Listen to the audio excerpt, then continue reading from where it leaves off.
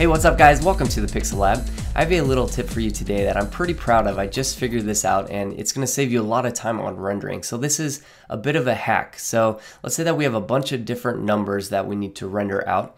You can see that this one frame took two minutes and five seconds to render. So if we have a bunch of them that we need to output, it's gonna take a lot of time and this is only one frame. If we have a whole sequence, it's gonna take quite a while. So what we're gonna do is hack the interactive render region.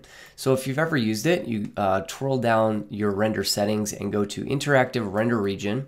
It's gonna give you a black uh, box and it's only going to render inside of here. This is great for previewing some different texturing that you're doing, stuff like that. So we're gonna go ahead and drag the handles and we're going to frame up just the part that we want to render. And then one other important thing is there's this little triangle here, which you can slide up and down to increase or decrease the quality. You're gonna wanna make sure this is all the way to the top and that will match your output settings. So once we have this all set up, let's go into our render settings and let's make sure that we check on alpha channel. That's very important. And then we're gonna change the output to the number. So we'll do 17. And let's go ahead and find that number in here and change it to 17. And let's go back to our render settings under output.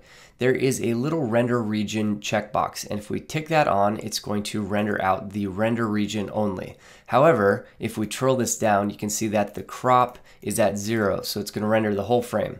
And we don't know the exact pixels that we're cropping, but if we click on copy from IRR, it will um, kind of adopt the settings that you have set up in here. So if we just click that, uh, we're gonna get all the correct pixel crop and it'll match what we have here. So that is all you have to do and then we'll just hit render and we'll see what it does here.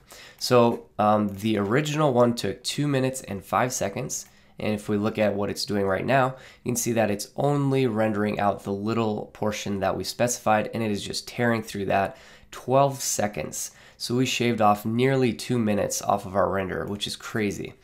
All right, and then we just need to jump into After Effects and we will import that new file and we can just literally drag and drop it on top and you can see that we have now replaced the number and we've saved almost two minutes on that render. So a really cool little hack of the interactive render region, super uh, efficient way if you're batch processing a lot of stuff. I hope that helps you guys out. As always, thank you for checking out PixLab. We'll talk to you next time. Ciao.